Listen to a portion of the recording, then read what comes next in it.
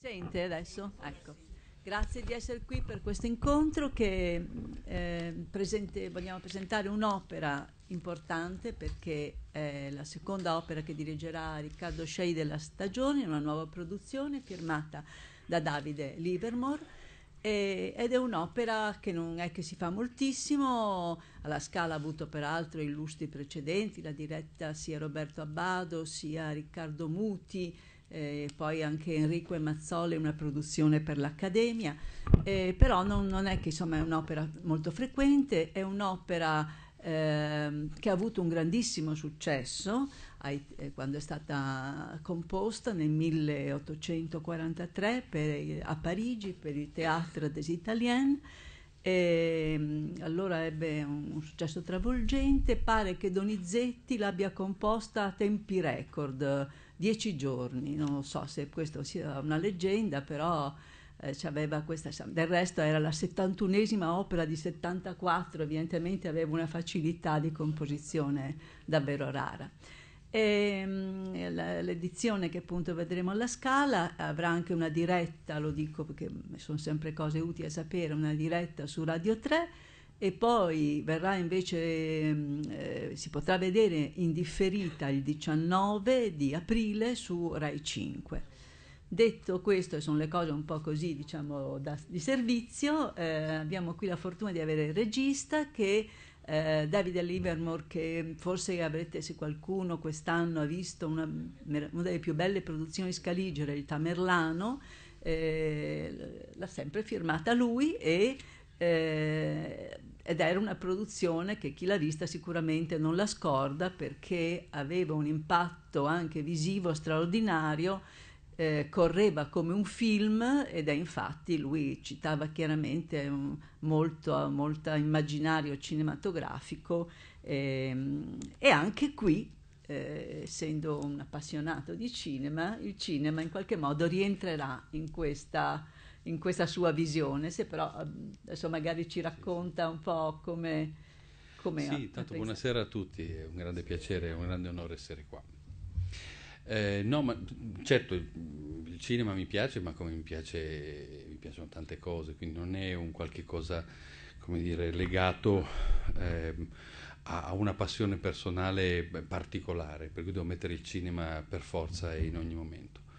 No, credo che però l'esperienza, de, l'esperienza di quest'arte non, non possa essere eh, scartata, non, possa essere, non si possa fare finta eh, che il pubblico, che tutti quanti noi, eh, dopo più di un secolo di, di esperienza cinematografica importante, non abbiamo riferimenti visivi, non abbiamo archetipi, eh, non abbiamo per esempio imparato, a, sì, nel senso che abbiamo imparato a zoomare e lo facciamo con gli occhi, è un movimento che, di camera che, non, che ormai siamo in automatico, siamo capaci a fare, a prendere il dettaglio nel particolare, una cosa che anni e anni fa non avveniva, si guardava tutto in una, eh, con una sorta di, eravamo delle eh, telecamere fisse e quindi l'esperienza del cinema è un qualche cosa che io riporto sempre sulla scena indipendentemente da dove colloco la, o, do, o come eh, credo sia giusto tradurre la partitura, anche proprio nel lato recitativo, perché quando due, due, cantanti si baciano e devono fare, per esempio, o si ammazzano o si picchiano perché si devono picchiare in scena, e devono fare, devono fare in qualche modo, devono considerare il fatto che il pubblico ehm, ricorda questo o abbia visto questo soprattutto al cinema. E quindi un bacio falso, un colpo falso, una situazione, eh, un timing comico che in qualche modo eh, potrebbe funzionare o abbia potuto, ha potuto funzionare in tempi passati e oggi non funziona più e non funziona più molte volte proprio per l'esperienza che il pubblico ha fatto. Io cerco sempre di considerare quello che in base a come cambia i lavori che faccio, perché cambiano le partiture, eh, partendo sempre da un, discorso, da un, discorso, musicale. Io non metto in scena perché metto in scena un'opera perché vado, mi metto su una colonna e, penso di essere questo genio che improvvisamente ha, ha un colpo di fulmine e un'intuizione per cui adesso seguirà l'onda creativa. Questa, no, non esistono cose di questo tipo. Credo molto di più al lavoro. Eh, qualche giorno fa mi facevano una domanda che era diventava divertente perché mi è stato detto, ma lei eh, non ha paura di mettere in scena quel titolo, quell'altro titolo? Quale titolo le può creare problema? Io ho detto nessuno, nessuno perché è la bellezza di non essere un genio, ma di essere uno che lavora, essere uno che studia. Metto lì a studiare e fino a quando non, non ci cavo, non, ci cavo non, esce fuori, non esce fuori il sangue dalla rapa, fine. E il sangue esce sempre dalla rapa perché ci lavoro perché si possono fare dei piatti meravigliosi con il, il frigo vuoto, è vero, no? Lo sappiamo cucinare qualsiasi roba. Arrivando alle due di notte c'è un, un pezzo di limone, la pasta d'acciughe vecchio e un pezzo di burro, viene fuori una pasta meravigliosa. Sappiamo. Cioè, dire, lì è, dipende veramente da quanto uno ha voglia di, di fare il travet, nel senso di e. Quali dico, sono stati gli ingredienti che ha trovato in frigo? E, quel, quel, quello nel frigo sono stati, è stata la partitura, cioè la partitura mi ha messo a disposizione una cosa straordinaria che, che è la commedia di mezzo carattere. Qui molte volte, sì, molte volte io ho letto beh, l'opera buffa, Don Pasquale, la sovrapposizione di, di, di Norina ehm, con Colombina, di Scapino, Arlecchino e Pantalone con ehm, Don Pasquale, ma la testa è Ernesto. Non è vero. Ci ho provato, eh? veramente ci ho provato, ma non è vero, perché quando una partitura porta con sé il solo di tromba più straordinario della storia dell'opera, inizio secondo atto, si piangono tutte le lacrime, le lacrime che abbiamo, perché tutti quanti noi siamo partiti all'alba perché tutti quanti noi abbiamo mollato qualche cosa siamo stati buttati fuori da una situazione. E la cosa straordinaria della comicità di questa, di questa partitura è che è perfettamente contrappesata con momenti di, di, eh, momenti di, di verità, l'armoia eccezionali. E poi tutte le parti comiche sono parti comiche di situazioni, non di maschera. Quindi la commedia di mezzo carattere, eh, diciamo che ha avuto come, eh, come momento clou nostra, nel Novecento il nostro cinema anni 50, che Proprio è così. stato un po' un'incarnazione, ha avuto, ha avuto dei, dei talenti che hanno saputo eh, farsi interpreti di, questo, di, questo, di, questa strada che è a metà tra il riso e il pianto. Sì, è, è così, è mm. così perché, mh, mm, perché, venivamo dalla guerra evidentemente e quindi c'era anche voglia, c'era una voglia di vivere pazzesca che si, si, si, sente in questa partitura. La partitura evidentemente è, non è stata scritta. Eh, non è stata scritta nel, nel, dopoguerra, ma è stata scritta prima, alla fine della prima metà del, del, dell'Ottocento. Um, però, però, c'era però diciamo gli ingredienti della commedia di mezzo carattere sono alla vigilia dei motti del 48 è vero è vero qualcosa forse si sentiva nell'aria può essere eh. però diciamo che la commedia di mezzo carattere in questo caso ehm, io, io, mi sono trovato a usare eh, gli ingredienti della, della, commedia all'italiana perché commedia, nel, nella commedia all'italiana noi troviamo evidentemente la nostra comicità bidimensionale quella buffa la maschera di Totò però ci, ci, metti, ci, troviamo, ci, troviamo, anche e soprattutto invece la parte che le, la comicità di situazioni e poi ci troviamo invece eh, momenti, momenti di verità, momenti di, di, commozione autentica, vera. Tornami a dire che mami a questo punto, eh, cosa la devo considerare? Se mi metto a fare una mettere in scena tutto un, un, gioco di maschere bidimensionali in cui ho Colombina e Arlecchino, ci possiamo andare a credere che quello è veramente... andare a credere come ci ha creduto Gaetano Donizetti al, a quel momento d'amore straordinario, non, non, non, ci crediamo più. E invece ci crediamo quando Marisa Allasio eh, in Poveri Mabelli bacia, bacia il, suo, il, suo, povero Mabello, di cui non ricordo il nome. Ci crediamo... Ci, Esattamente, e, e, ci crediamo perché Salvatore, perché quel momento lì è un momento, è un momento che viene fuori da, è un momento d'amore che viene fuori da una situazione, da un contrasto, ti lascio, ti ripiglio, ti lascio, ti ripiglio, in una, in una serie di situazioni autentiche, ma, ma a me, come dire, mi piacerebbe molto poter catalogare in maniera più definita quest'opera e dire, oh, è un'opera buffa, la metto lì.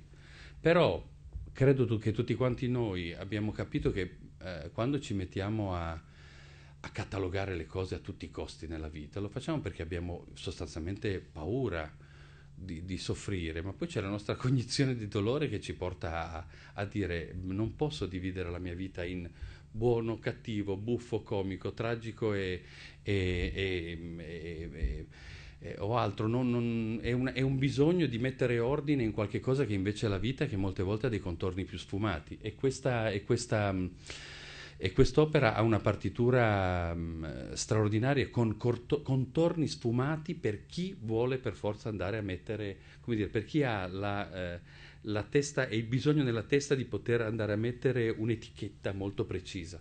Io credo che in questo caso bisogno, se chi ha bisogno di un'etichetta gliela diamo, la commedia di mezzo carattere che è un, un'etichetta molto ampia. Molto ampia, molto sì. E, e, qualche, ecco, cosa possiamo anticipare un po' eh, cosa vedremo in scena, perché l'azione, mi pare, il libretto dice si svolge a Roma e Roma è la grande protagonista, l'altra grande protagonista certo. di questa storia. Quindi, eh, però, che Roma ha, ha immaginato? Io, ecco, una delle ragioni per cui abbiamo scelto insieme ai miei collaboratori, insieme a, a Gianluca Falaschi per i costumi, insieme a Gio Forma, allo studio Gio Forma per le scenografie, eh, Florian Boy e Cristiana Pico. Abbiamo, abbiamo scelto, secondo noi, l'ultima Roma possibile per questa partitura perché è una partitura elegantissima, perché è una partitura che ha dei momenti di... il duetto del, del terzo atto ehm, è finita Don Pasquale e credo, credo, che Schubert potrebbe crollare per terra e disfarsi in mille pezzi per, nell'ascoltare una tale profondità di, di, scrittura musicale di questo tipo, per la profondità della conduzione. È, un, è un, duetto perfetto per la, per la profondità della conduzione emotiva. Racconta una situazione di vita autentica come come, ma come neanche il Verga nel, nel, nel suo, suo, nella sua onda verista più estrema. Eh, ed è questa la grandezza, no? E quindi la, la Roma che abbiamo voluto raccontare, la, la grandezza è la stessa e la, allo stesso tempo la, la grande, la, grande, eleganza, la grande eleganza mm. che c'è comunque. È una sorta di grande rispetto nei confronti delle emozioni di ognuno di noi, no? non, non si, anche quando si fa beffe, ci si fa beffe della vita, lo si fa con un profondo... Un profondo mm, C'è anche molta malinconia. Oh, enorme, mm. enorme. Sì. Sapete, conoscete la fotografia di Donizetti? Sapete che abbiamo, esiste un daguerrotipo di Donizetti eh, del 1847 io lo vedo, mm, ormai lo, lo, lo guardo, guardo, questa fotografia, lo trovate facendo fo- daguerrotipo Donizetti col nipote. È straziante perché si vede un uomo morente completamente devastato dalla sifilide con di fianco il nipote e inizialmente mi, mi sono venuti un po' i nervi vedendo il nipote perché era come, un pochino come quando uno va eh, al safari, no? che si fa fare la fotografia con di fianco l'elefante, l'elefante morto, eh, il fucile piazzato così. Eh, invece poi mi sono reso conto che era una, una crudeltà gratuita che avevo nei confronti di questo nipote, perché probabilmente invece era anche il piacere di stargli di fianco, insomma, poi so che ci sono state delle, delle, delle, delle situazioni poco piacevoli. Indipendentemente da questo, siamo quattro anni dopo la prima di, eh, di Don Pasquale. E... e, quindi in qualche modo non siamo lontani Don Pasquale dalla fine. Eh? un po' anticipa quasi una, una creatura morente, un, un vecchio che sì. forse agli ultimi sprazzi, sì, ultimi sprazzi ma, di vita, di vitalità. Ma sulla scena, è, è vero, ma mm. sulla scena, sulla scena, troveremo anche un altro aspetto e l'abbiamo voluto raccontare con una pantomima, una gran pantomima sul, sull'Overture. Un, già, già immagino, apre sipario sull'Overture, però che, che, che noia. Oppure cosa vorrà raccontarci questo? No, abbiamo voluto raccontare il perché di cose che troveremo, e che troveremo non perché le ho inventate io, ma perché le, perché le vediamo nella partitura. La prima è, è una domanda che, retorica che vi pongo, ma quando uno ha 70 anni, desidera, una persona a 70 anni desidera avere moglie e figli, perché non desidera una situazione, una situazione mm, non so, una situazione improvvisamente... Matrimonio desidera, di compagnia. Sì, non desidera né un matrimonio di compagnia né un consumare sesso No, desi- desidera veramente far famiglia, vuol dire che prima non l'ha fatta. No? vuol dire che prima questo tipo di esperienza non, non l'ha vissuto e che è una cosa che è sempre rimasta sospesa. E allora abbiamo voluto raccontare perché. E l'abbiamo fatto in maniera crudele, così come crudele questo scherzo, perché eh, ne, parlavamo, ne, parlavamo, pochi giorni fa e, e è vero che oggi non è più il tempo degli scherzi. Oggi probabilmente il conte Mascetti e tutti gli amici miei eh, sarebbero in galera, ma io sarei in galera, se oggi avessi 17 anni sarei in, al penitenziario sicuro e mia madre che è in prima fila lo sa, perché io facevo scherzi. Io facevo scherzi, mi svegliavo la mattina e l'obiettivo era con i miei amici che facciamo stasera e che facciamo stasera era a chi, a chi facciamo uno scherzo stasera. Ma con, i ragazzi a 15 anni, oggi, si ritrovano tutte le telecamere. A chi li fanno gli scherzi? Cioè, vanno, è un, tempo, se, un tempo crudele quello di oggi. È solo, Quindi, è solo, un fatto di telecamera o forse non c'è più quello spirito? Anche? Ma lo spirito già una telecamera me lo, me lo nega. E in più c'è anche la mancanza di futuro, perché quando uno fa scherzo, come posso dire, quando uno si mette a fare scherzi e, e vive anche una, una, pulsione per la vita, un desiderio, un desiderio che non è dire, solo distruttivo, ma è anche, eh, con, è, è anche, la condivisione con la vittima in qualche modo. La vittima dello scherzo mm, è un po' qual- complice. È un po' complice, nel senso che va bene, a un certo punto... O- oggi arriverebbe l'avvocato, eh? Oggi arriverebbe l'avvocato subito, ci sarebbe una causa, siamo tutti arrabbiatissimi, i semafori già partono delle cose terrificanti. Figuriamoci, figuriamoci non lo so, eh, a vedersi, vedersi recapitare dei fiori con una lettera anonima, eh, che, che una lettera d'amore, dico la prima stupidaggine, no? eh, con, oppure, oppure, oppure una, un pacco con dentro amore ti, hai lasciato questo a casa mia l'altra sera e arriva direttamente nelle mani del, della compagna. Ecco, mm, robe che uno dice diventa per, per far scoppiare dei micro, dei micro, dei micro mm, ciadelli, che è una parola, un'italianizzazione di un piemontesismo che è il ciadel, cioè sarebbe un, un, una, una baruffa. Ehm, comunque in questo Overture noi vedremo la causa, la causa in, con questa pantomima di quello che può essere questo trauma affettivo, perché evidentemente se uno a 70 anni desidera risposarsi non ha potuto farlo prima, ma non solo, desidera non solo la compagnia, desidera, desidera vedere dei pargoli, perché lo dice, voglio vedere pargoli qua, pargoli là, voglio... Cioè, ma se uno a 70 e rotti anni si ritrova a desiderare di essere papageno, non so, evidentemente non ha potuto farlo prima. Noi lo vedremo e lo vedremo nel giorno del... Um, apriremo il sipario, la prima cosa che si vedrà sarà una bara. Um, come posso dirvi?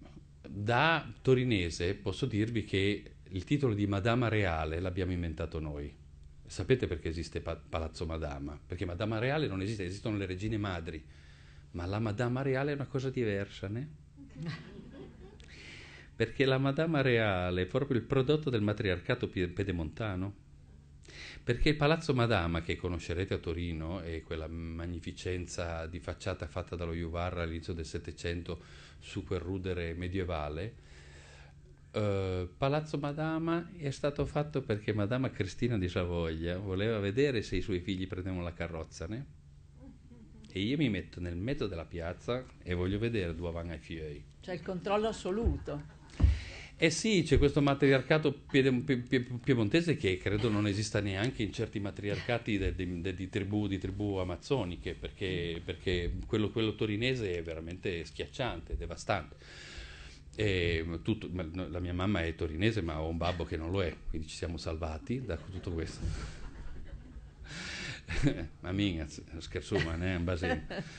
Eh, e, ehm, e, quindi saremo il giorno del, del apriamo il sipario e si vedrà la bara finalmente di questa donna e si vedrà um, durante l'overture che alterna momenti in cui possiamo sentire i temi che verranno poi sviluppati dopo, si sente la virtù magica, si sentono i temi di Norina i temi dello scherzo, i temi, del, i temi, di Roma, i temi della primavera romana, i temi, del, eh, i temi musicali in cui, in cui si, si, vive, si vive quell'amore sfacciato e quel gioco amoroso, quel meraviglioso gioco amoroso che, eh, di, cui canta, di, cui canta, Norina. Norina eh, ce la racconta, il suo manifesto ideologico è molto preciso. Io so la virtù magica, la conosco, so come, so come fare eh, come strizzare un occhio qui, so come attra- attirare l'uomo, so come far innamorare le persone. ed è quasi un, è quasi come dire, potrebbe essere cantato, se potessi fare un film non lo farei, non lo farei neanche eh, cantare da, un, da, un, da, una donna, passerei con la telecamera attraverso Roma e attraverso le donne romane, attraverso le gambe delle donne romane che camminano per via del corso, cioè il vento, il vento che attraversa ad aprile la città ed è la città meravigliosa con la sua luce unica. Eh, e noi vedremo, e noi vedremo la, il funerale di questa donna eh, e da lì capiremo una serie di cose, capiremo eh, con i temi di cui vi ho parlato, i temi della, della, della bellezza del, che vengono poi ascoltati dopo, vedremo tutti te, i tentativi e i desideri di poter vivere una vita affettiva da parte di Don Pasquale e vedremo anche come andrà a finire. È un riso che, vedendo le prove in scena, coinvolge tutti, ma è un riso amaro, è divertente ridere in maniera amara, devo dire la verità, perché c'è sempre un fondo di verità che quindi, ci, ci, prende tutti noi. Quindi, insomma, questa città è una città veramente in qualche modo anche di dolce vita, non nel senso di vita un po' birichina, ma una vita anche piacevole, c'è questo, questo turbine amoroso che in qualche modo sentiamo, no? che percorre tutto anche se tutto questo poi viene convogliato in una beffa crudelissima. Assolutamente. Perché eh, non so se è più crudele questa la beffa di Falstaff, ma sono due beffe siamo tremende. Lì. Siamo lì, siamo sempre due vecchi che vengono no, presi di mira. E, e, quindi questa beffa è qualcosa di, di cattivo eh, che, che, noi, che, noi, a volte guardiamo anche quasi con imbarazzo, credo, no? Mm. E, mi accennava l'altro giorno, diceva in questa compagnia eh, di, di, di, dove c'è questo, questo, medico, questa coppia innamorata e così via, l'unica persona per bene alla fine per me è Don Pasquale, l'unico con cui uscirai a cena. Perché l'unico con cui uscirebbe a cena? Ma perché, perché alla fine lui pagherebbe il conto. è già qualcosa. È già qualcosa, perché gli altri non pagherebbero il conto, mm. questo è sicuro, e me lo farebbero pagare a me perché, perché, con gli altri mi divertirei di più, però appunto ci sarebbe il problema, il problema, di essere fregati in qualche modo con gli altri, perché sono veramente una banda, una banda di mascalzoni seri, per cui o mi metto a fare scherzi con loro oppure esco a cena con Don Pasquale, che così mi racconta, mi racconta delle cose tenere, struggenti, oppure dei lati così un po' imbalsamati di questa Roma nera, di questa nobiltà nera romana che vive nei palazzi vuoti, e come, come dire, sempre come con queste, con queste carcasse di pachidermi eh, svuotati, svuotati, dell'antica nobiltà, insomma, no? Conosciamo, c'è questo tipo, è, è, quella la Roma di Don Pasquale, insomma. La Roma di Don Pasquale nell'evoluzione, eh, come dire, cinematografica di quello che non è più a quel punto la commedia all'italiana, ma, è, ma potrebbe essere molto ben rappresentata da Roma di Fellini nella, nella così, nella sfilata, eh, nella sfilata del, del, di moda del, eh, clericale, ecclesiastica. Insomma, ecclesiastica. Mm. Eh, non perché, perché eh, Don Pasquale è un, sia un sacerdote, un religioso, questo no, ma per far sentire questa maniera un po' conservativa in cui un mondo un po', un po', che si autoprotegge, da cui lui poi cerca di venirne fuori e ne viene fuori male perché non è proprio la roba sua, mm. non è proprio non è proprio il suo ambito. Una, suo, una curiosità che abbiamo già, già visto l'altro giorno è che in scena ci sarà una vettura, un'auto, un'auto che è stata iconica di un periodo che è eh, l'Aurelia, la famosa Aurelia eh, Spider, dove, mm, che tutti conosciamo del sorpasso, dove Trentignan e Gasman andavano a rotta di collo con tragico finale e qui chi, chi sale sulla, sull'Aurelia? Sull'Aurelia sale eh, in, molto vicino all'Aurelia, tra l'altro, mm. che adesso poi vi devo parlare dei sì. luoghi deputati, sale, sale Norina.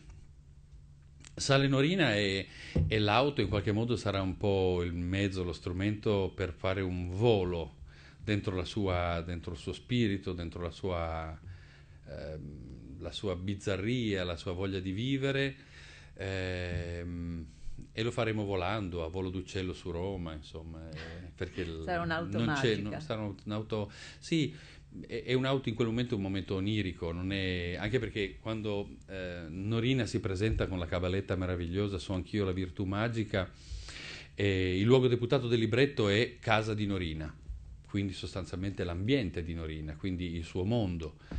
Ma mondo, un mondo che canta l'amore come lo canta lei, evidentemente è tutta la città e quindi dobb- abbiamo voluto abbracciare tutta la città e raccontarne lo spirito, per quello che la vedremo volare sull'Aurelia in un volo assolutamente interiore, un gioco teatrale che faremo a volo d'uccello sul, sul Colosseo, sul Cupolone, su, ai Parioli, ai Gavarnelle.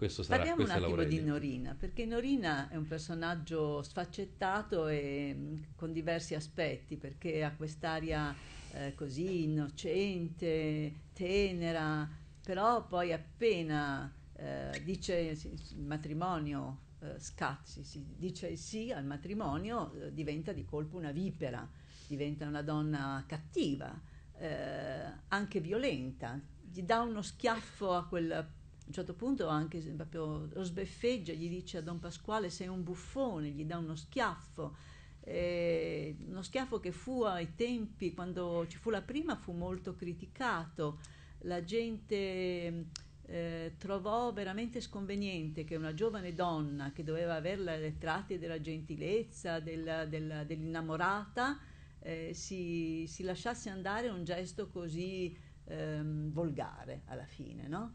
E quindi ci fu un po' di malumori su questa cosa e ancora adesso ci dà un po' fastidio questo schiaffo perché è un po' gratuito, sembra che infierire, no? Ecco, lo, lo, schiaffo è, è perfetto, molto, eh. lo schiaffo è perfetto ed è perfetto in quel momento, momento drammaturgico. Conoscete eh, l'espressione jump the shark?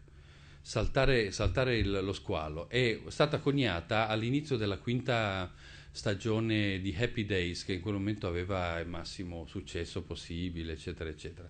Eh, l'inizio del, di, quella, di, quella, puntata fu fatto, fu fatto filmando, credo, Fonzi, mm. che a un certo punto era uscito il, il, film di Spielberg, Lo squalo, saltava addirittura lo squalo senza farsi nulla. E quello ha fatto in modo che tutta la serie, che diventasse l'ultima serie, perché da quel momento in avanti Fonzi, che ci faceva molta simpatia, era diventato, è diventato il, un personaggio orrendo, adesso basta, è esagerato, adesso è troppo. E lei proprio fa il jump the shark nel momento, nel momento in cui dà la sberra. La sberra è perfetto perché ci fa vedere un aspetto, l'abbiamo, l'abbiamo provato, per chi ha fatto scherzi o li ha subiti, c'è un punto in cui ci fa male. Ci ha fatto, ci, ci ha fatto male farlo o riceverlo. In cui ci siamo resi conto che la, la, la, la, la, corda si è troppo tesa e in quel momento giustamente Norina diventa antipatica, diventa orrenda. Diventa orrenda perché, continua, perché continua, e, e, lo farà anche dopo, a, beffarsi, a, beff, a beffare una persona che, che sta mostrando, cantando quello che è, il duetto è, è finito a Don Pasquale. Cosa succede in musica è, è un miracolo cosa succede in musica è qualcosa di, di, di, di, straordinario. Dopo la sberla si apre semplicemente un, un baratro eh, e musicalmente andiamo a finire dentro il dolore di Don Pasquale, come se facess- avessimo da quel momento in avanti un close-up, un primo piano su di lui e lui piange. E lui piange, si commuove e, e sta pensando ho 70 anni ho avuto un momento di vitalità, uno nella vita, in questo momento ho, ho capito che ho perso tutto, ho sbagliato tutto. E lei diventa quello che è, una persona che insiste, continua. Sapete quando, quando quante, perso- quante volte reiteriamo una modalità, un concetto e questo ci rende, ci rende antipatici. Io che, la, che, sono verboso molte volte e molte volte reitero lo stesso concetto, m- mi rendo conto che a un certo punto mi sto annoiando pure io parlando, perché poi ho capito, immagino poi gli altri, quando vanno dall'altra parte, quando penso di andare dall'altra parte, capisco la, la punizione che sto infliggendo. Lei cons- continua, insiste, non molla, pur, oh, pardon, scusate, pur con un momento di strano e meraviglioso senso di colpa, di cui poi non si pente, perché ed è lì viene fuori la, la meravigliosa in, e crudelissima cattiveria, tra virgolette, romana. Sono figlio di romano, quindi posso parlare mm-hmm. di... Perché, perché c'è questa... perché questa psicologia di, di, di, di, questo mondo che ha già visto tutto, questo mondo che se frigni, dai su, sta a frignare. Vabbè, ho fatto, ho fatto una cattiveria a un vecchio, dai. Cioè, c'è un cinismo. C'è un meraviglioso cinismo. È intelligente, è cattivo, è solforoso, è viva. È viva, non è buonista per niente. Eh, è un mondo oggi dove, oh, mi, posso, mia madre si chiama negro, posso, la chiamo di colore, né? Mia madre si chiama, si chiama, Maria Pia Negro e io la chiamo Maria Pia di colore perché mi vergogno, perché non, non si sa mai. Siamo dentro tutto questo mondo, oh mi prego. Politicamente no? corretto. Sì, sì, io sono diversamente magro, diversamente eccetera. Mi spiace.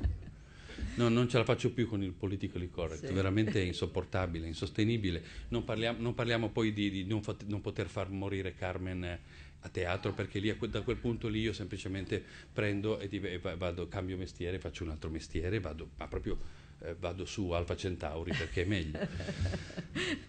Noto una vena, un tocco molto polemico. No, ma di amore, profo- di amore profondo per la nostra cultura e per l'opera e per il teatro, perché, abbiamo, perché non c'erano non c'era la, la vendita dei materassi ad educare, ad educare generazioni agli affetti, era la letteratura ed era l'opera, ed era l'arte che educava agli, all'affettività. E allora se invece educhiamo all'affettività con la vendita dei materassi, con la, con la, con la televisione spazzatura, è chiaro che poi dopo ci mettiamo a fare uh, cose strane sulla Lei ha detto mor- una cosa l'altro giorno che mi è molto piaciuta, ha detto che quello che manca nella, nella nostra scuola, a parte l'educazione musicale che sappiamo, è anche una conoscenza di quella che è una parte della nostra letteratura, ovvero i libretti d'opera. Punto. Eh. Noi parliamo italiano. Eh, quanti di voi, scusate così, quanti di voi pensano in italiano e quanti in dialetto? Perché mi penso in dialetto. Hai tanti momenti che proprio par- parlo italiano, ma... No? Voglio dire, quando mi ritrovo, per esempio, a insegnare, a insegnare il canto ehm, a, a, cantanti, a cantanti, sono straordinari, meridionali, nel sud dell'Italia tutti pensano in dialetto e infatti quando pensano quello che stanno dicendo in italiano lo fanno in maniera generica. Io mi ricordo per me è stato un, è stato un momento, un'intuizione, una ragazza siciliana che, non, che sa, avrà sempre tutta la mia gratitudine, che mi cantava uh, Sposa, son disprezzata, fida, eccetera. Dicevo, mm, dai, mi fa, sì, no, ma io mi sto impegnando, sposa. Ho detto, basta, me, me la dici in siciliano. Lei ha cominciato a dire le parole in siciliano traducendo il, il libretto, le venivano fuori delle lacrime così, perché ci stava credendo e quando l'ha cantata in italiano era una devastazione per tutti, perché la stava pensando con la verità del suo dialetto, che era la sua lingua. E, ehm, e l'italiano dei libretti d'opera è stato l'italiano che ha messo insieme i nostri dialetti perché raccontava la bellezza. Io trovo m- molto penalizzante, per esempio, una gran parte dell'italiano l'italiano televisivo è proprio br- bruttarello. L'italiano, l'italiano, usato a volte anche nelle, a volte nelle traduzioni teatrali o a volte anche nei libretti delle, no, delle opere contemporanee trovo che l'italiano abbia questa capacità straordinaria di poter raccontare la bellezza o l'orrore, attenzione, la bellezza non è non, non nell'accezione del politically correct, ma la bellezza nel senso più lato possibile. E, e quindi quando ci troviamo, per esempio, non so, um, passami il sale per piacere Giovanna, ecco, non, una, una comunicazione normale in italiano messa su un teatro d'opera, per esempio, io la vivo in maniera difficoltosa, per la bellezza della, e, la, e, la, capacità che la nostra lingua ha invece di raccontare delle cose più sublimi. Noi nel, quotid- nel quotidiano vince l'inglese, ci, ci, fa, ci, ci, vince proprio dieci lunghezze, scusate sono nipote di Fantino, quindi io parlo sempre in termini ipici, dieci lunghezze vince, di dieci lunghezze vince, vince, vince per forza l'inglese. Eh, I libretti d'opera sono patrimonio totale della nostra cultura, sono eh, è una vergogna che eh, nella, nelle scuole italiane non si, non si, insegni quello che è stato il più grande contributo alla cultura mondiale, uno dei più grandi contributi alla cultura mondiale che l'Italia ha prodotto, i libretti d'opera.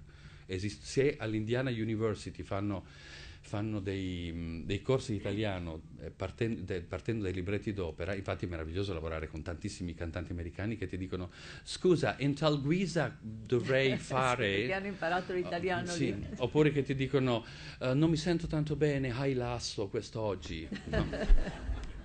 è molto divertente, eh, ma è, è, è, devo dire che è molto bello, è molto bello e molto emozionante perché insomma per chi fa questo mestiere diventa, diventa, interessante vedere la differenza tra come è considerata la nostra arte qui o altrove. Anche perché all'Indiana University eh, beh, ci sono 1100 allievi di canto d'opera all'anno che si iscrivono o di storia dell'opera Eh, per insomma, dire, no? Poi Andiamo magari nessuno farà, nessuno farà carriera, va bene, o nessun- però magari ne farà carriera uno e sarà un gran Però c'è cantante. una grande curiosità. Però c'è una grande attenzione. curiosità, l'opera fa sold out in tutto il mondo perché? Perché è bella, punto, ma non si discute, attenzione, su questa roba non si discute, non si può discutere mi- perché non è entertainment. Un- possiamo- il grande errore che è stato fatto a un certo punto nella comunicazione è stato dire eh, mettiamo, mh, sai l'opera non tira, ma non deve tirare l'opera, no- non è quello, noi non dobbiamo vendere biglietti, non dobbiamo fare l'errore che ha fatto la RAI eh, quando è arrivato Mediaset dicendo mettiamo anche noi le pubblicità in mezzo, no, no, noi non, dobbia- non- noi non dobbiamo, noi dell'opera non dobbiamo metterci a lottare contro l'ultimo, di- l'ultimo film eh, di Spielberg, No- non è quella roba lì, è un'altra È cosa. un'altra cosa. cioè. È un'educazione ai sentimenti, agli affetti, alla- all'affettività, agli affetti non, in, in senso molto lato. È, è quella cosa lì. Uno non si mette a chi- uno non si chiede se è bella o non è bella la Cappella Sistina. Allora no- uno, perché uno deve, mettere- deve dire mi piace o non mi piace, eh, mi piace o non mi piace la pietà di Michelangelo, l'abbiamo mai detto? No, non lo diciamo, non possiamo dire mi piace o non mi piace Nabucco. Mi spiace, no, no, non possiamo dirlo, è quello l'educazione che deve passare. parte del nostro DNA, insomma. E io vorrei ancora tornare un attimo sulla figura di Norina, perché è una figura secondo me interessante e che nasce anche da tante cose, perché pensando un po', guardando l'epoca in cui è stata composta l'opera, è un'epoca che comunque la rivoluzione francese è passata da un po', ma eh, sono arrivati per la prima volta eh, i diritti delle donne Mhm. eh, i diritti delle donne che per un istante eh, è stata una donna, Olympe de Gouges, che ha, ha dato questi, eh, per la prima volta i diritti alle donne, anche per esempio di divorziare, che è una cosa fondamentale, importantissima. La donna si sentiva in grado di poter tenere eh, un ruolo diverso in società, infatti lei tiene testa a, a Don Pasquale, è il motore di questa burla insieme al, al medico. E d'altra parte però è vero che siamo anche ormai già nella restaurazione, per cui questi diritti delle donne sono stati prima approvati e già poi eliminati, perché eh, se non sbaglio è eh, il codice civile 1816 dice, dice che la donna deve obbedire al marito e che non ha diritti al pari di i minori, i criminali e i mentecatti. Cioè è stata, era, era così a, quella- a quel livello lì. Quindi c'erano queste due visioni molto ravvicinate e molto diverse. C'è Mm. stato un momento di grande slancio e di apertura, quasi un protofemminismo, e poi c'è stato un immediato ritorno. Certo. In qualche modo lei incarna questi due aspetti. Sì, lei incarna questi due aspetti. Ehm, devo dire che non è, alla fine, ehm, denunciando così tanto la burla che andrà a fare, la sua credibilità come, come possiamo dire, come eroina femminista, proto-femminista, la perde subito perché ehm, non è, poi quello, poi, non è più quello il focus, il focus è spillare dei soldi al vecchio, allo zio di quello che io voglio sposare. E quindi è vero che questo, eh, questo aspetto c'è, ma è triangolato, non arriva mai eh, direttamente, è triangolato dal fatto che eh, possa esserci la burla in mezzo. Sì. Lo sappiamo perfettamente con, per esempio, la Cecchina, ovvero la buona figliuola di Piccinni, che nel, eh, non mi ricordo l'anno del Settecento, quando, ehm, quando- che fu la più, il più grande, stiamo parlando credo degli anni 50 del Settecento, forse il 62, non mi ricordo. E, fu un'opera rivoluzionaria semplicemente perché aveva eh, la protagonista, ovvero Cecchina, ovvero la buona figliuola, eh, mentre l'antagonista era la marchesa. Per la prima volta la cattiva era una marchesa, era una nobile e la protagonista era invece una serva. E, e tutto il tifo andava sulla serva e quindi i teatri erano pieni ovunque per di, di persone che finalmente potevano anche solo dire anche solo medesimarsi, anche solo fare pugnetto, sì, quando c'era, quando c'era quando, c'era, quando alla fine c'era il trionfo del, del, dell'animo e sì. dell'animo della cecchina. Ci sono stati tanti momenti di questo tipo in cui eh, evidentemente da un punto di vista sociale istanze della società che venivano raccolte, istanze femministe che venivano femministe, proto-femministe naturalmente, eh, venivano raccolte da, da, da, dall'arte e fatte diventare eh, in questo caso opere.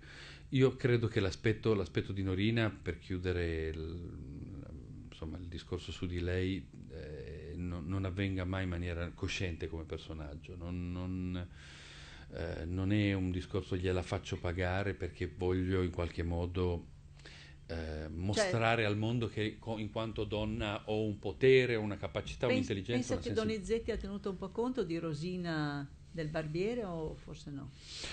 Uh, no, non c'è una, sono due valenze completamente diverse perché mm. è vero che Barbiere è una sorta di facciamoci una risata sulla rivoluzione francese, va? Mm. facciamoci una risata perché ci siamo spaventati tutti assai. Allora stavolta vi facciamo un buon marché? Sì, ma ridiamo un po'. Ecco, quello è quello che io sento in, in Se dovessi avere, tenere un corso sul Barbiere di Siviglia e eh, comincerei così, fammoci una risata perché, perché, perché di sangue ne è passato tanto e in questo caso non c'è nessuna istanza, nessun, nessuna, nessun retrogusto politico. E sì, però c'è da dire che il fatto che dire, la tipificazione di una donna interessante, di tipificazioni di donne interessanti non è che ce ne siano tantissime, parlo dal punto di vista del, dell'essere, dell'essere eh, eh, capaci di tenere testa a uomini, di organizzare in questo caso scherzi, di poter vincere in questo caso in modo cattivissimo, ma di vincere una situazione, la situazione la vince lei, chiaro. Eh, direi che un cenno bisogna farlo anche agli altri due protagonisti, eh, l'innamorato Ernesto e il medico un po' mascalzone, imbroglione, malatesta. Sì, prima di parlarvi di loro volevo finirvi brevissimamente il discorso sui luoghi deputati, perché sì. l'ho cominciato e l'ho lasciato per aria, quindi vi ho raccontato due luoghi deputati, che, tre luoghi deputati nel libretto, casa di lui, casa di lei e un giardino, casa di lui sarà casa di lui, la sintesi sarà il teatro di Marcello, il teatro di Marcello è il luogo per me più significativo, che mi racconta di più Roma in assoluto, un ex teatro che eh, si riempie, si stratifica di umanità e di vita quando smette di essere teatro e quindi abbiamo gente, abbiamo, um, gente che vive, muore, si ama, si tradisce, si odia, si detesta e, e si riama e, si, e rimuore e rinasce eh, da, da, da, dal VI secolo. Immaginatevi che, che Popò, e quindi con il fatto che questa, che questa, casa continua a cambiare per, di arredamento dal VI secolo ad oggi, quindi ci troveremo l'interno di casa di Don Pasquale eh, al Teatro di Marcello, un interno assolutamente ottocentesco, oh, che, poi trovi, che, poi lo troviamo fino agli anni 50 la casa, la casa di Norina e poi su un, un, un, impianto scenico che potrà darci la possibilità di vedere anche l'esterno di questa casa.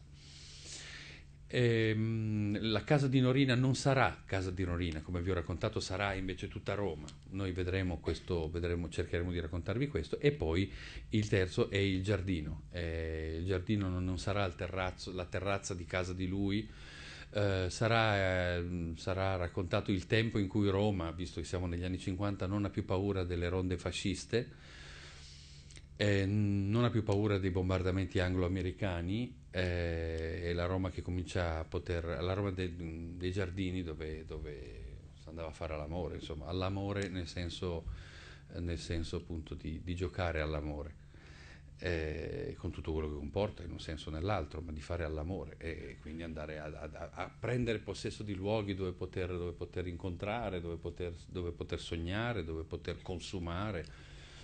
Eh, ecco, invece per quanto riguarda Malatesta e, mm, e Ernesto, allora Malatesta... Eh, ma la testa probabilmente in tutto questo è quello più vicino alla commedia dell'arte, però è talmente tanto forte eh, la, la, dire, il, l'introspezione musicale di Donizetti che anche lui poi alla fine non può essere considerato lo scapino di turno. Eh, e diventa, diventa, un personaggio semplicemente un, un è, è il, la grande mente insieme, insieme a Norina, insomma eh, è, è, lui che pensa tutto ed è, ed è, ehm, ed è naturalmente Norina attua, con cui poi attua, attua, attua la, be, la, beffa.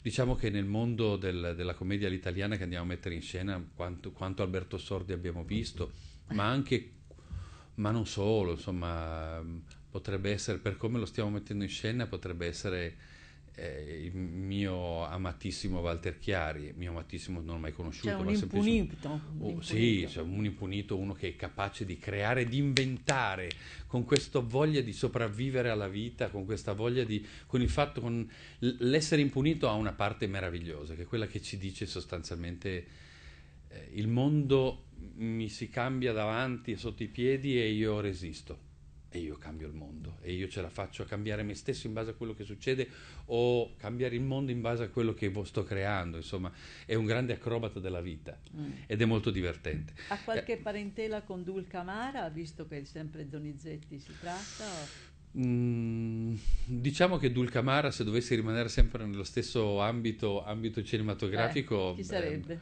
Eh, lo sceicco bianco. Eh. sarebbe assolutamente sortido lo sceicco bianco. Mm cioè quello, una quello cosa più fa... favolistica, più Sì, sì, sì, sì, è eh. uno che potrebbe essere portato con il carro di Zampano e Gelsomina, ma è, ma è in, nelle fiere, fiere che poi tra l'altro io me le ricordo a Pinerolo negli anni 70, dove c'era quello che spezzava la catena.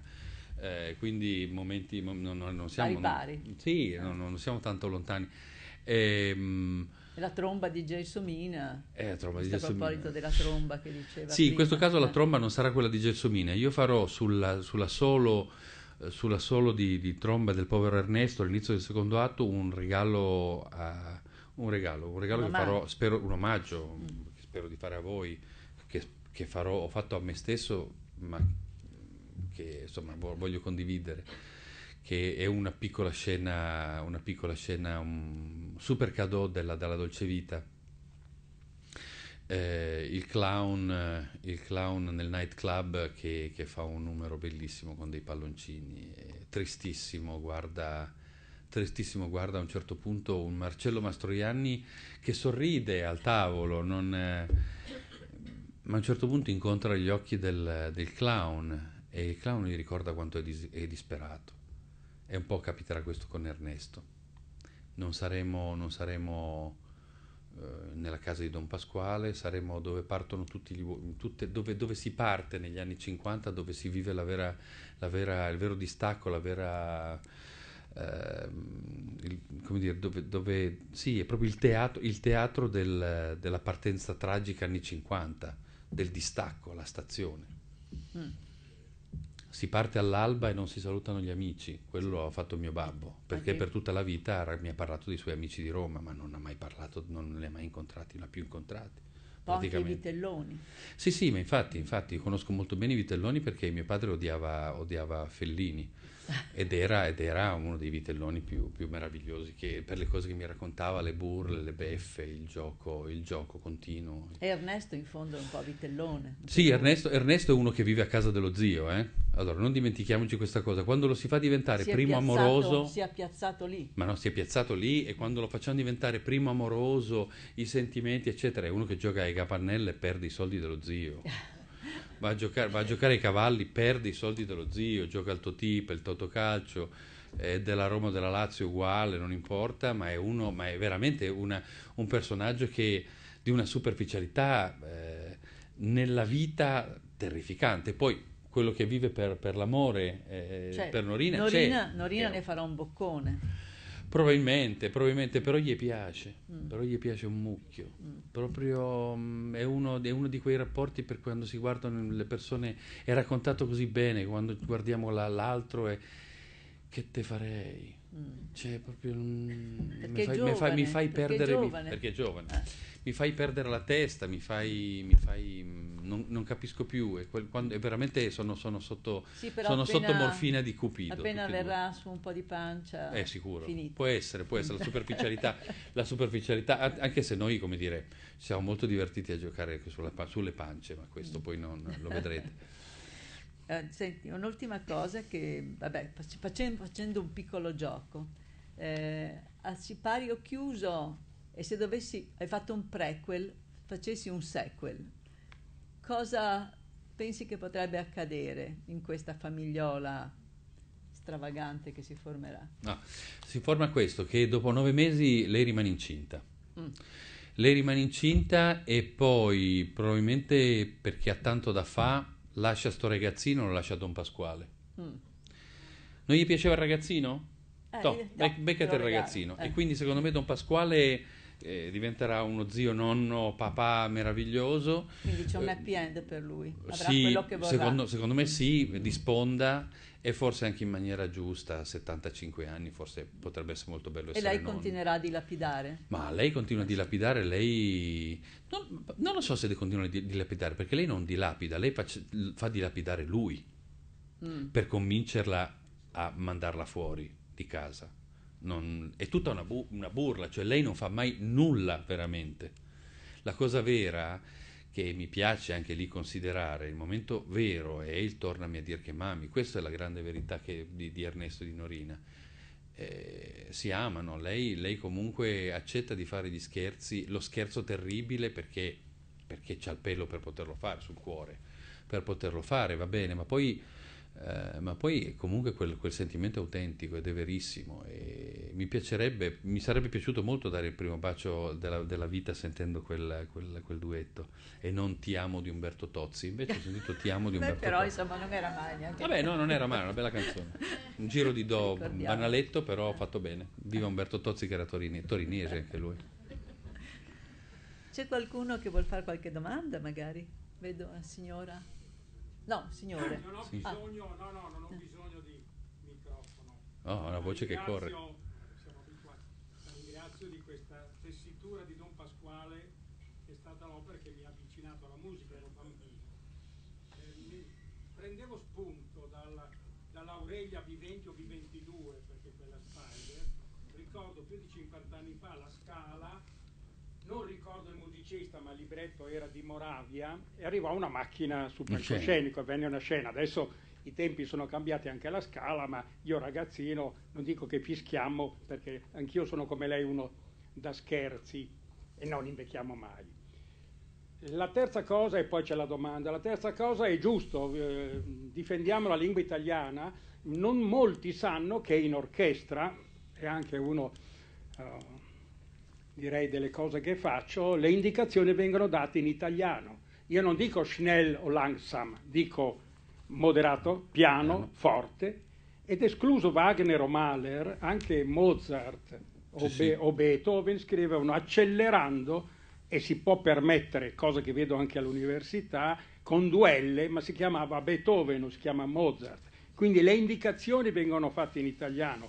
Questo era, direi, la difesa della nostra lingua e l'opera. Noi siamo, se lei è a Tokyo, non diranno lei di Milano, ma non diranno il Duomo, ma diranno la Scala. E questo è fondamentale. La domanda invece era questa. Sul libretto, sappiamo Ruffini, non Ruffini, poi chi ci ha messo le mani? Mi sembra il libretto di Manon, dove tutti ci hanno messo le Sì, mani, compreso così, Ricordi. È così, credo soprattutto poi alla fine, alla fine credo il colpo definitivo l'abbia dato Donizetti Mm, stesso, sì, eh, questo, è, questo è sicuro. Eh, ma poi io mh, ho fatto un, un film nel 2011 per la televisione svizzera italiana che dal titolo Viva Verdi Giuseppe, eh, come, perché eh, come perché l'opera fece l'Italia forse, questo era il sottotitolo. E eh, insieme ad Alfonso Antoniozzi interpretammo una cosa come 50 erotti personaggi, tra cui un'intervista doppia in cui lui faceva Metastasio e io facevo eh, Francesco Maria Piave. Questa intervista doppia, che potete trovare anche in YouTube senza problemi, la- ehm, è stata presa eh, da, mm, dall'Università di, eh, di Amburgo e questo film è stato preso dall'Università di Amburgo e viene costantemente stato comprato anche in Rai, dato su Rai 5, eccetera. Ma viene, viene, viene usato per, nei corsi di, di, storia della musica per spiegare la differenza tra il librettista ottocentesco e il librettista settecentesco. Dove appunto alla domanda ehm, quanti musicisti ehm, e, e Metastasio diceva musicisti, ma che me frega, la musica è solo roba di sottofonte, dai dei tacche, dai dei punte, quante, ma che me porta a me, eccetera. E io invece facendo il Francesco Maria Piave dicevo musicisti, eh, beh, musicisti uno Giuseppe Verdi e, e, la signora Giuseppina, grande cantante, nel, come nel tragico come nel comico, cioè, nel senso che il rapporto che evidentemente il, musici, il librettista aveva nei, nell'Ottocento, poi nel tardo Ottocento maggiormente, con il, il, il compositore era, era, chiaramente di servizio profondo per quello che era la composizione musicale, non era il Metastasio che scriveva le, su, i suoi drammi e poi dopo venivano eh, musicati da, come è capitato a Metastasio, da più di 80-100 musicisti. Evidentemente c'era un, un, un, librettista che si riferiva in maniera totale e il librettista usava le intuizioni letterarie e a volte le modificava. E Donizetti sicuramente aveva un'esperienza tale ormai nel 1943 ed era, ed era, ed era chi era, insomma, e, e aveva un senso del, del, della profondità dell'animo umano che doveva naturalmente piegare il libretto alla sua volontà espressiva. Grazie. Non, non è una risposta, Boito cambia molto. Vabbè, sì, cambia molto Boito, però, però, però che atto d'amore ha fatto Boito, eh? che, che, che, che, momenti pensare a Boito e Verdi, veramente da, da brivido. Altre curiosità, signora? Non ho capito, mi scusi, il titolo dell'intervista doppia. Intervista doppia, sì, eh, il titolo del film è Viva Verdi Giuseppe, Viva con W, Verdi Giuseppe, Verdi, virgola Giuseppe, punto esclamativo. Lo trova in, online sul sito della Radio, Svizzera Italia, Radio Televisione Svizzera Italiana, quindi RSI, se mette, lo, trova. Eh, non le so dire esattamente a che minuto lo può trovare nel... però già che c'è, se a un'ora e venti si vede al film. È gratis. Bene, grazie buon Don Pasquale Grazie. per chi andrà a vederlo. Grazie molto.